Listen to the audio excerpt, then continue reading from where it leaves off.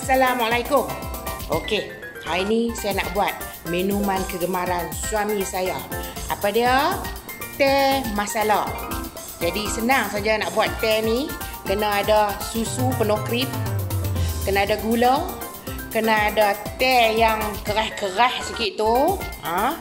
Halia setengah inci. Potong halus-halus dengan buah pelaga. Okey. Kami nak minum dua orang. Jadi saya nak bubuh dua cawan susu ni dalam periuk. Okey, satu cawan. Eh, pasang api. Ah, tu dia. Susu dekat nak mendidih dah. Nampak tu. Ah, kepala dia dah macam naik dah kita berpelan sikit api. Kita bubuh teh, dua beg, halia, lepas tu buah pelaga.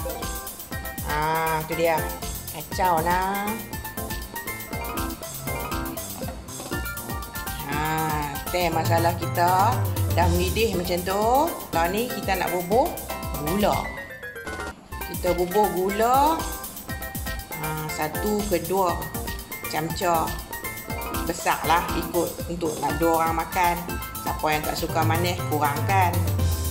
Ok gula dah larut kita tutup api.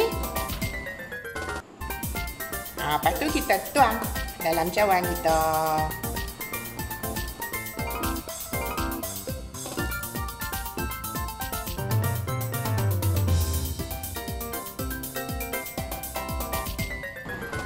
teh masala siap. Dua cawan.